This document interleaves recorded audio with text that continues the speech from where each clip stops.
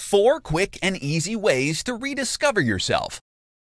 When life happens, you start losing track of who you really are and what you really wanted to be.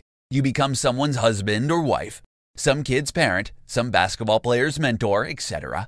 In the midst of it all, the real you gets buried under the different hats you need to wear. So, how do you rediscover yourself? That's what you're going to find out in today's presentation. Let's begin. Number one, start writing in a journal. Writing down your thoughts, your feelings, and your goals in life will help you to get to know yourself better. Don't be afraid to write down your deepest fears, your biggest regrets. Don't leave anything out. There's no need to be secretive. Censoring yourself will be tantamount to lying to yourself.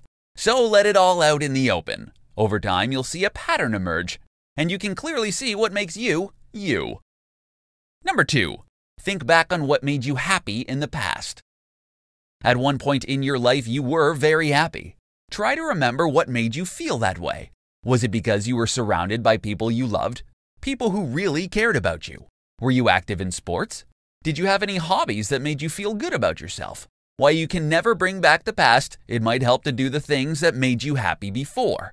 Try to recreate the activities that made you feel free in the past. See if you can go back to your old hobbies or your favorite sports.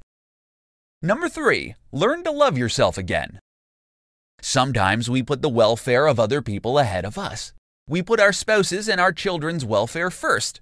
While there's nothing wrong with doing that, you must not neglect yourself. Pay attention to yourself and your body. If you suppress yourself and you carry out your day to day activities like a robot, then you'll never find yourself. Number four, be aware of your feelings. Figure out what events trigger certain feelings, like happiness, anger, or disappointment. The more you know your feelings, the more you get to know the real you. When you discover the things that make you happy, then try getting yourself exposed to those things frequently. It will help keep all your negative emotions at bay. For more free educational content, visit learnforfree.biz. Content produced and distributed by AllSuperInfo.